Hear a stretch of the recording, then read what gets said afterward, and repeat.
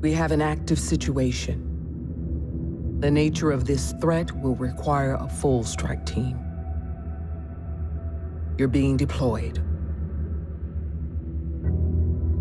One of our most notable institutions of learning is under siege. This is more than just an attack on our soil. This is an attack on our future.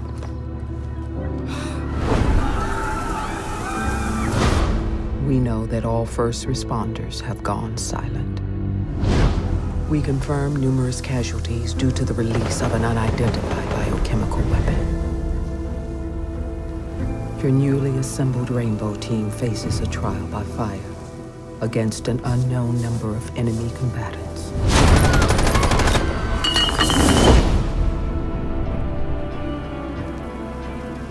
You're to be inserted directly into the hot zone.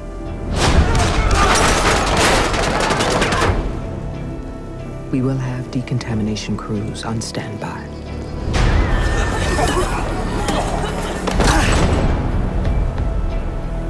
Your orders are to eliminate the threat and rescue any survivors you may find.